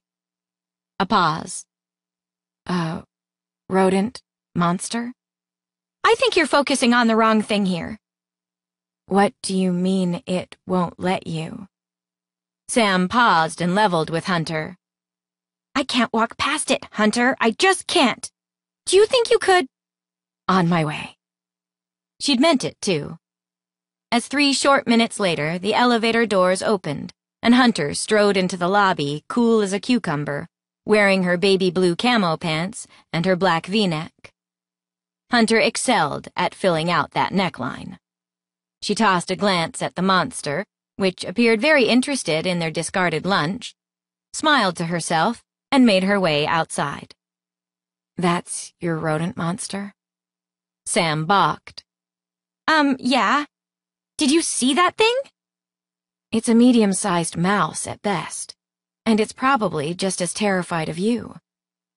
It's a rat, and it's evil. It's a mouse, and it probably wandered in when someone held the door open for too long. It happens, not a big deal. Shall I walk you in?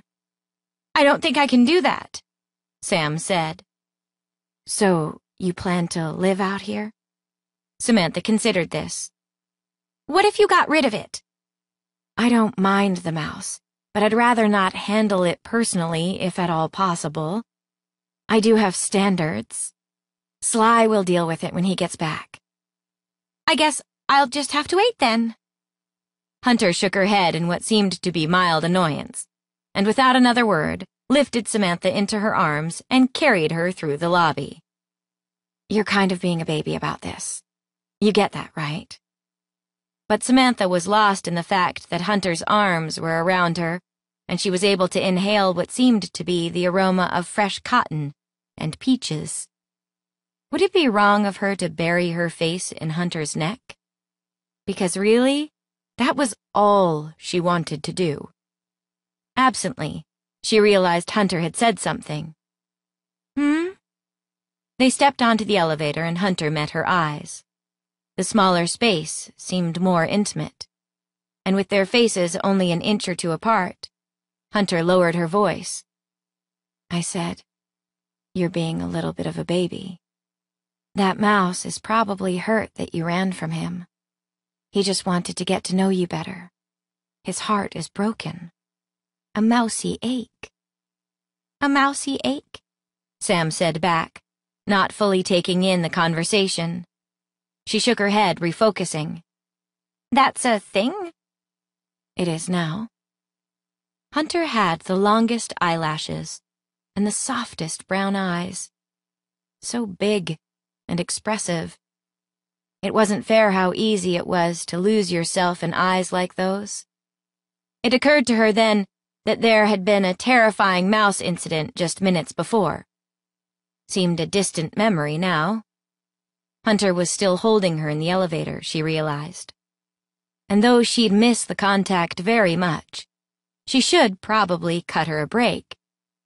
After she took just a moment to savor the feeling, that is. Because it really was everything. You can put me down now, Sam said. Thank you for your help. Hunter held her gaze as the car ascended slowly. Her facial expression was resolute. Not yet, she said quietly. Samantha's eyes found the panel of buttons on the wall. And that was when she realized that they weren't on their way to the office. Hunter had pushed the button for the 11th floor. Their apartment. Her stomach flip-flopped at the probable implication. Her mouth went dry at the thought. She licked her lips, a nervous gesture, and turned back to Hunter, intent on pointing out the less than wise detour. But Hunter's mouth was on hers before she could react. And it turned out that was totally okay, because Hunter kissed like heaven on earth. Samantha was shocked at the strength of that kiss, how fast her body responded convincing her easily that the 11th floor was maybe the best idea ever. Her body now pulsed with a kind of electricity she never knew it could possess. It drove her crazy, so to compensate, she pushed her tongue into Hunter's mouth, exploring, tasting, savoring. God, it felt so right to finally give in to what had preoccupied her for days. To just say, to hell with it and follow her primal instincts. And God, was this instinct worth the wait? The elevator dinged and Hunter didn't hesitate. She carried Samantha into the apartment and deposited her quickly on the counter. Her eyes were focused, determined. She was on a mission as she pulled the black v-neck over her head, revealing a purple satin bra beneath. Sam stared in awe at the picturesque visual, the generous tops of breasts peeking out from the fabric, Hunter stepped out of her pants and stood succulently before Sam in matching lingerie. Without pause, she found Sam's mouth once again and kissed her with an abandon that was quite simply contagious. Samantha's hands pushed against that bra, her thumbs circling her nipples through the thin material. It was the hottest thing Samantha had ever experienced, this unexpected twist in her day. They'd been hard at work at the office just an hour before, and now look at them. She didn't do things like this. This so wasn't part of the routine. Hunter's hands were on the move, unbuttoning Sam's shirt, her hands instantly inside it. Sam arched into the touch, pushing her breasts into Hunter's eager hands, and closing her eyes at the sensation. She didn't have matching lingerie, would that be a problem? Unimportant details, she thought, as she pulled Hunter's bottom lip into her mouth in a move that had Hunter responding with a quiet moan. She smiled into the kiss. It turned out she was actually good at this. Sam's shirt was off, her bra too. And she was on the kitchen counter. The kitchen counter, people, come on. Hunter pulled back and stared at Sam, her chest rising and falling with labored breath. Watching Hunter try to maintain control when she was normally so confident was more than a turn on. Because she had done that. She had affected Hunter that way. It was an empowering feeling, and Sam loved it. Placing her hands on either side of Hunter's face, she brought her back down for a searing kiss that, simply put, rocked her socks off. I want you, Hunter whispered against her mouth. Now. But for Sam, wanting was off the table. This was more. This was need. She nodded, meeting Hunter's darkened eyes. And that seemed to be all Hunter required as she lifted Sam from where she sat on the counter and carried her back to Hunter's bedroom. Hunter was on top, and Sam reveled against the feel of Hunter's weight lightly pressing her into the mattress, her warm skin flush against Sam's. They kissed in a hot tangle of lips and tongues until Samantha thought she might explode. But there was something she had to have first. She reversed their positions and smiled at Hunter's surprised expression. But Samantha was on a mission and could not be deterred.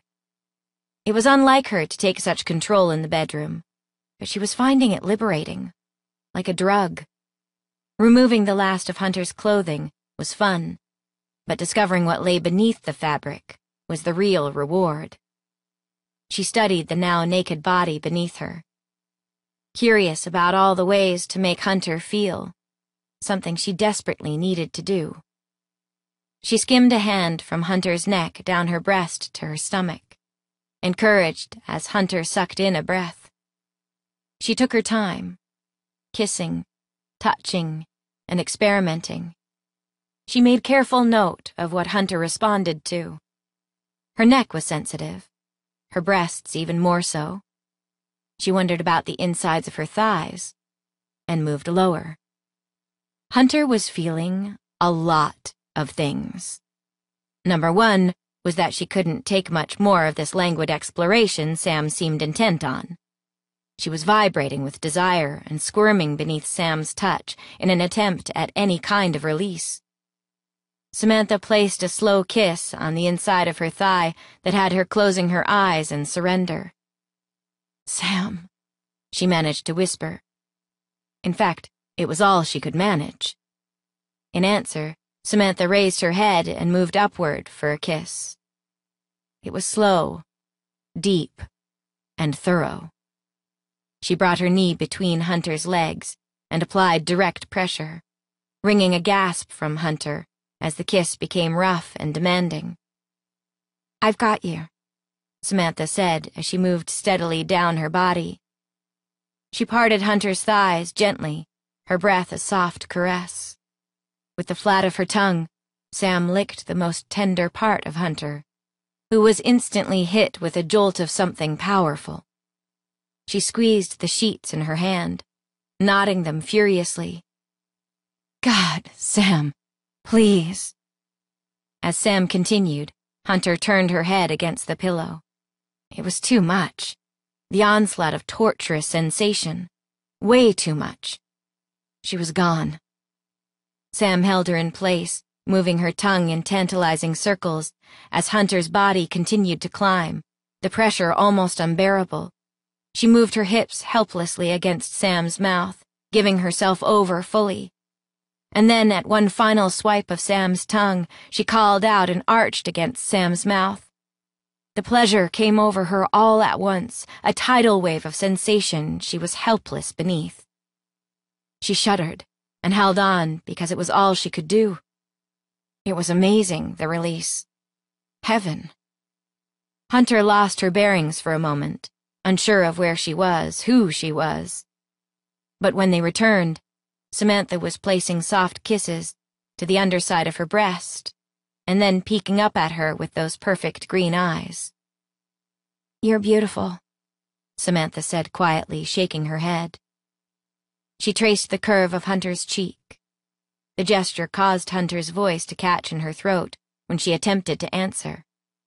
So instead, she smiled to let Sam know that she'd heard her, that it meant something. Cradling Sam's face, she placed a soft kiss on her lips and slid a hand between her legs. She closed her eyes against what she found there and stroked steadily, lost in how amazing Sam felt, how wet and ready she already was back and forth across her center, slow and even. Samantha's lips parted in response to being touched. She closed her eyes in rapture as Hunter continued the movement. Back and forth, teasing just enough. When Sam whimpered softly, she slipped inside into warmth and wonder, all the while moving her thumb more purposefully now, across that most sensitive spot.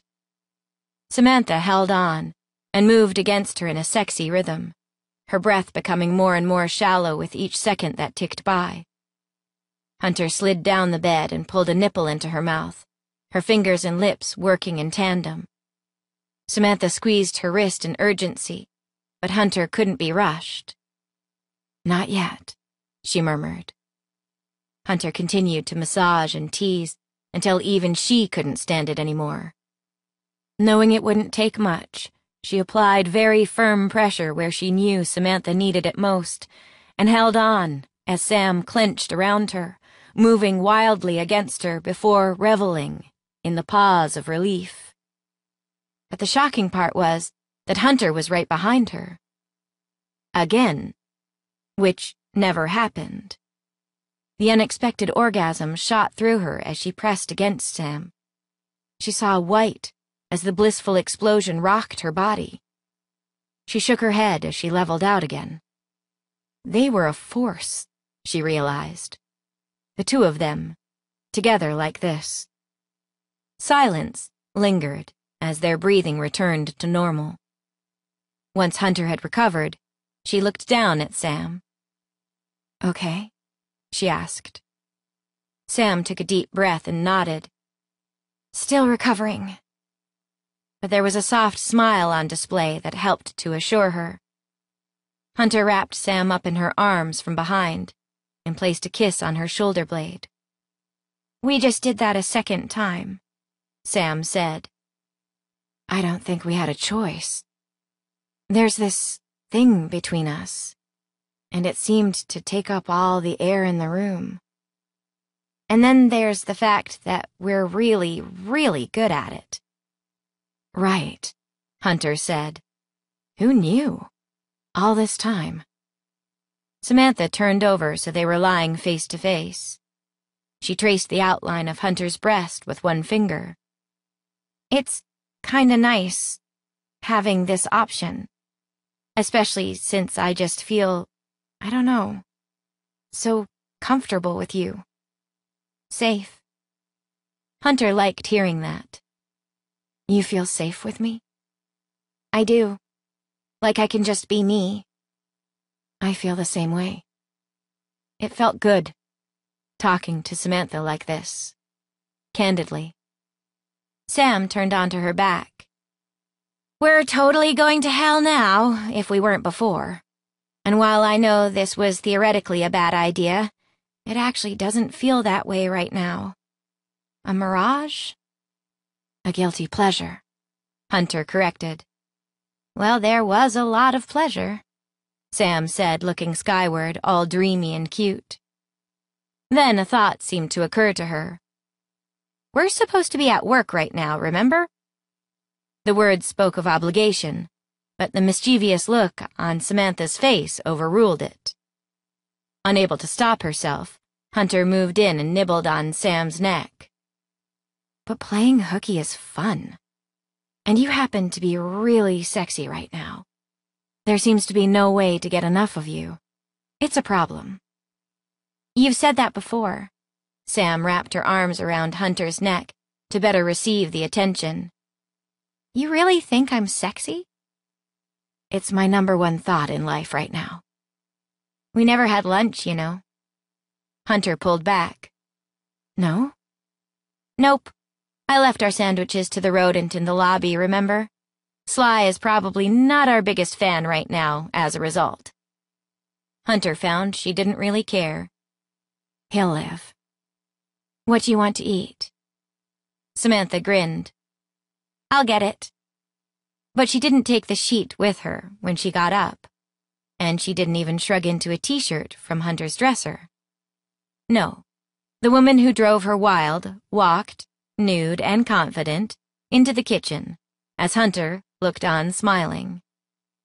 When she returned, she carried with her a package of olives, a box of crackers, and a bag of tiny marshmallows.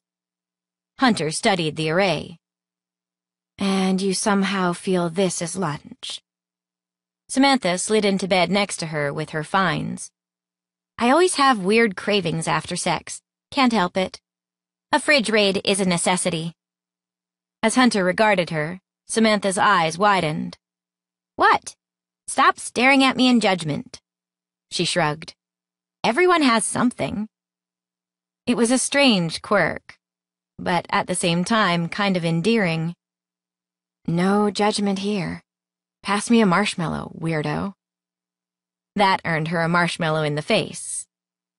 They ate their eclectic lunch leisurely in bed, enjoying each other's company in a way that felt so natural, it was shocking. Hunter stared at Samantha as a slow flutter moved through her. Because this felt different from any other sexual experience she'd had. She could lie here with Sam for hours. In fact, she wanted to. Maybe it was a testament to their friendship, but for Hunter, it was beginning to feel like maybe it really was more. She hadn't been wrong about the direction of her feelings the other night at Showplace. It was terrifying, but at the same time, kind of exciting.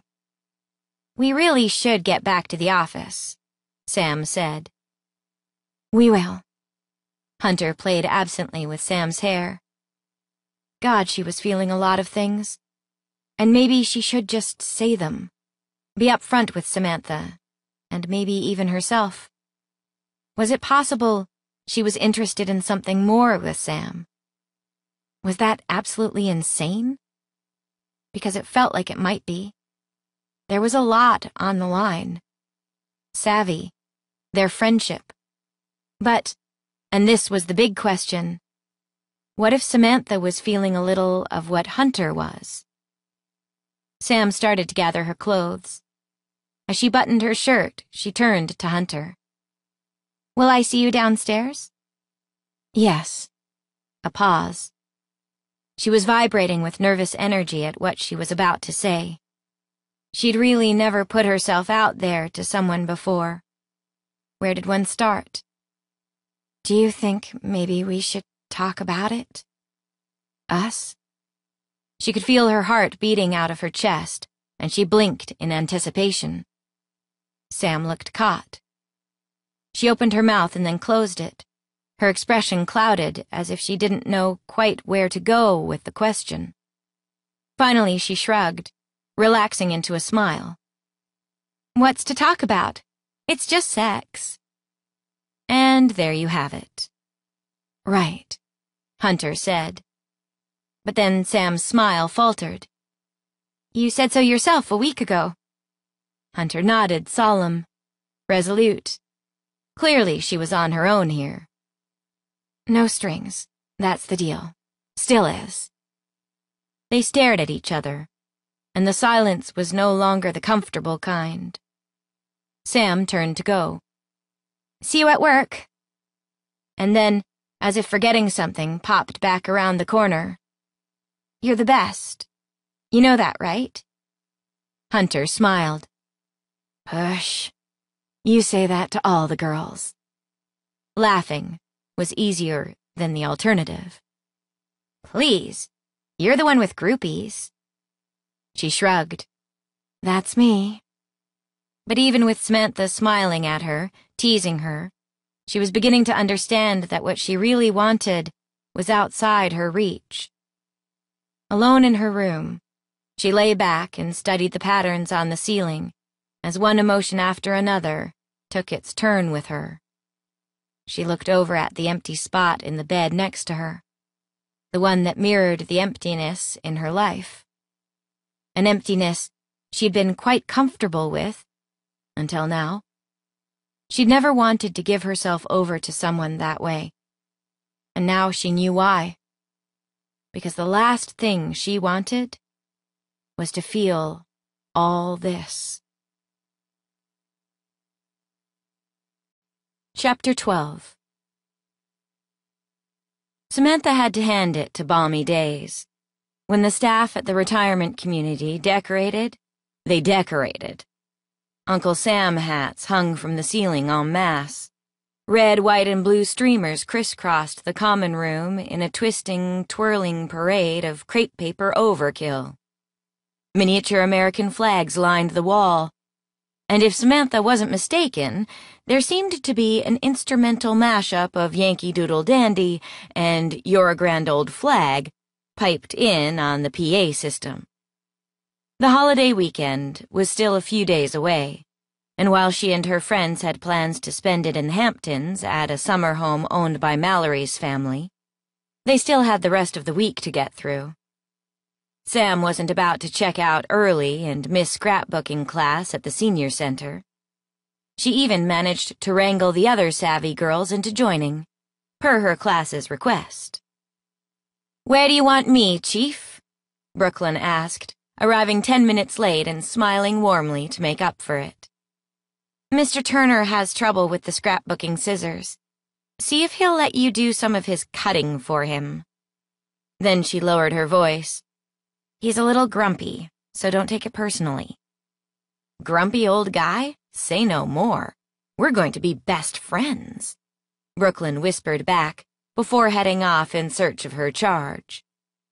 Samantha surveyed the activity around her. Mallory had organized the women into a sort of circle and moved between them offering tips.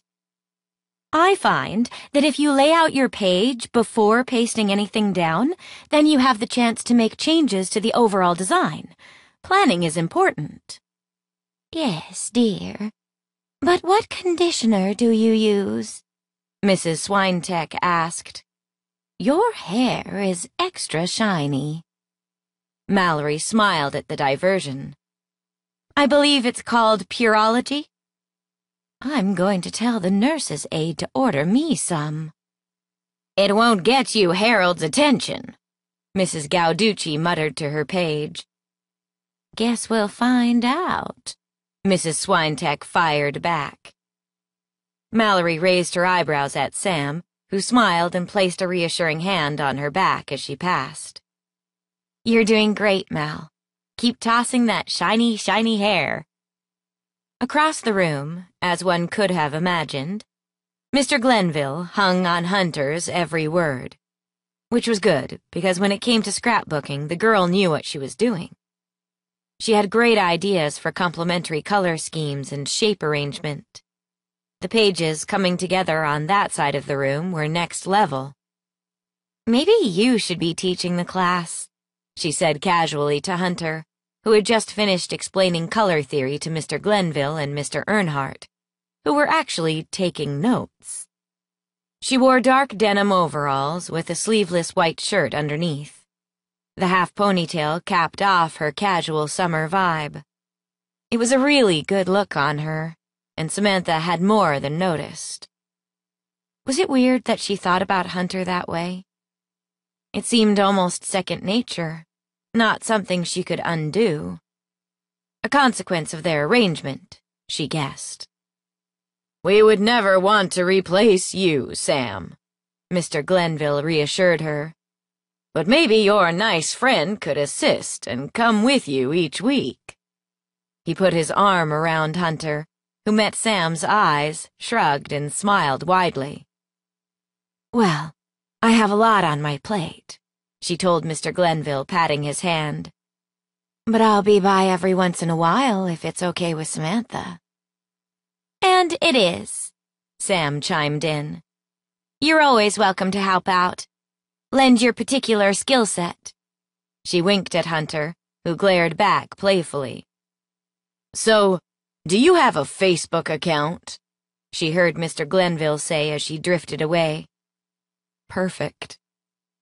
Next, she moved on to Brooklyn and gruff Mr. Turner, who seemed to be engaged in some sort of heated debate.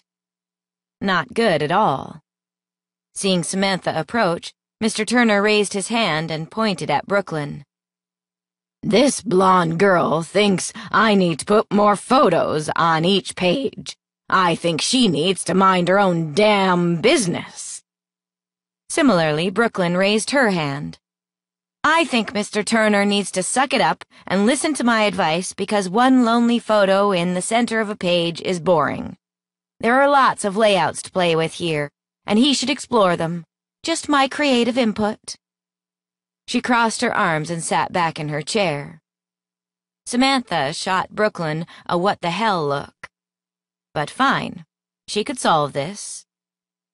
Mr. Turner, Maybe you'd like to work with Hunter, and Brooklyn can help Mallory with the group she's. No, no, no, Mr. Turner said in annoyance. We're doing fine here. She's just spirited, is all.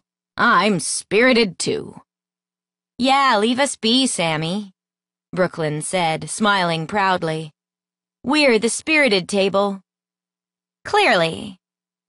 Understanding their unique camaraderie, Samantha smiled. Then I'll let you two work. It was turning into a great session. The residents had a palpable energy about them when new people came to visit. It warmed her heart to see them so reinvigorated, and she was grateful to her friends for doing her this favor. As they filed out at the end of the allotted class time, Brooklyn and Mallory went about helping Samantha with the cleanup. She gathered the glue sticks from the various tables and returned them to the large plastic bag, all the while keeping one eye on the front of the room. Hunter still sat quietly with Mr. Earnhardt as he took her through each page of his scrapbook and explained the significance of each memory he had shared with his late wife. Samantha looked on, struck by the way Hunter took the time to quietly ask him questions and compliment the work he'd put into each page. It was a heartwarming exchange. She's good with him, Mallory whispered to Sam. Brooklyn nodded. Hunter's a softy. Most people miss that about her. Samantha's heart clenched in her chest.